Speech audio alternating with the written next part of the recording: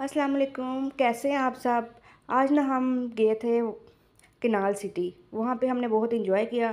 तो चले आए, आज आपको अपनी इंजॉयमेंट दिखाते हैं और साथ आपको विज़िट कराते हैं। किनाल सिटी का जो बहुत ही अच्छा इन्होंने बनाया हुआ है इंजॉयमेंट के लिए, बच्चों के लिए, हमें तो इधर बहुत मज़ा आया। आपको देख के बहुत मज़ा आएगा। तो चले आए, कनाल सिटी के अंदर से विज़िट करवाती हूँ आपको। ये उन्होंने वाटरफॉल बनाया हुआ था और ये बहुत ही अच्छा था।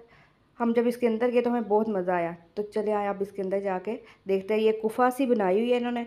तो हम फिर इसके अंदर गए थे और अंदर जाके हमने जब वाटरफॉल देखा तो हमें इतना मज़ा आया, जो सारी गर्मी थी ना वो भूल गए हम।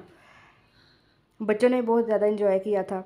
ये डक इन्होंने बिठाई हुई है। ये डक है, वो मूवमेंट नहीं करती हैं, लेकिन दूर से ऐसा लग रहा था कि जैसे ये असली है। तो ये वाटरफॉल के अंदर जब हम गुफा में जाके बैठे खड़े हुए तो हम जो है ना पूरी तरह भीग गए थे। कपड़े बच्चों के गीले हो गए तो उन्होंने बहुत इन्जॉय किया था। बेबी तो ऐसे घबराई हुई थी, लेकिन इधर जाके उस बिल्कुल ठीक हो गई, जैसे बहुत सुकून था इधर।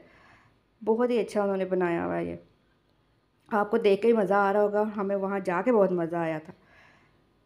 ये देखिए, ये सारा वाटर है, और हमारा दिल कर रहा था कि हम इसके अंदर ही घुस जाए।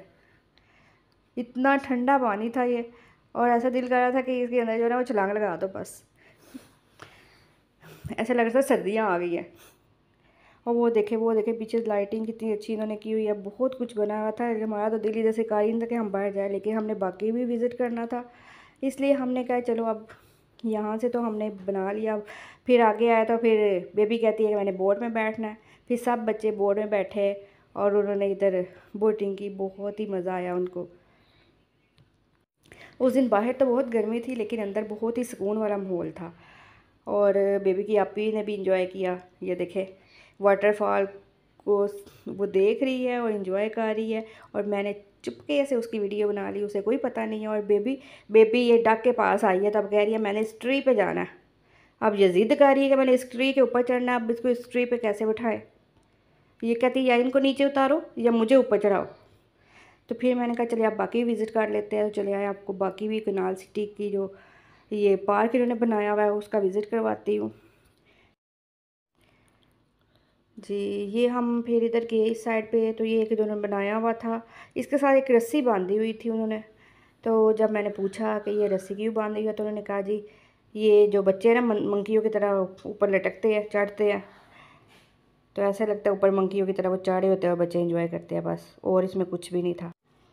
यहाँ पे हम गए तो बहुत ज़्यादा फ्लावर थे और बेबी ने यहाँ से फ़्लावर भी लिए थे, कहती है मुझे फ़्लावर चाहिए। ये पिंक पिंक फ्लावर है येलो मुझे बहुत पसंद है। इसके बाद हम इस साइड पे गए तो यहाँ पे जो था ये इन्होंने ग्राफ बनाए हुए थे, जो बहुत ही, इनकी हाइट बहुत ही ज़्यादा थी। हमें तो उनके पास खड़े होते भी शर्म आती थी, ऊपर मुँह करके उनको देखना पड़ता था। फिर आगे थोड़ा सा मैं गई तो यहाँ पे ये कान कटे जो है ना, वो है मिकी मोस थे। इनका नाम भी हमने रखा था क्योंकि ये कान कटे थे। तो अज्जू, मज्जू और जग्गू, हमने इनके ये नाम रखे थे। अज्जू, मज्जू और जग्गू। और ये बहुत क्यूट लग रहे थे, लेकिन इनके ना कान ही कोई नहीं थे, इसलिए इतने खास कोई नहीं हमें लगे। तो मैंने कहा, चलो इनसे पूछते हैं कि इनके कान कैसे कटे और किसने काटे हैं? लेकिन ये ये तो कुछ ना बोले आगे से तो मुझे लगा कि इनके कान शायद ये ग्रफ जो है उसने खा लिए